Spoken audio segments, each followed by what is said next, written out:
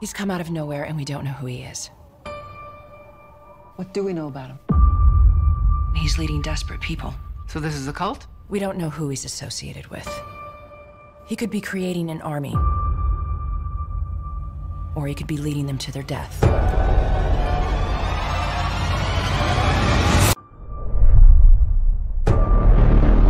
What were you doing in Syria? Delivering a message. A message for whom? My father. And who is your father? We've lost it. What do you mean? He just disappears. No one just disappears.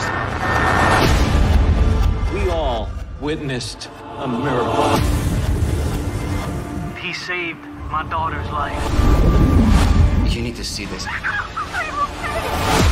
Bury it for as long as you can.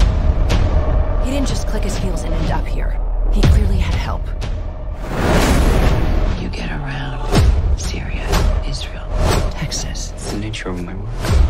And what is that work? God's work. Who do you think he is? You didn't see what I saw. And if I did, would I be calling him the second coming? How far will this new movement spread?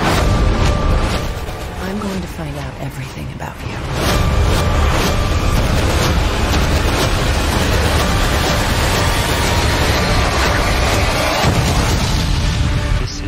bigger.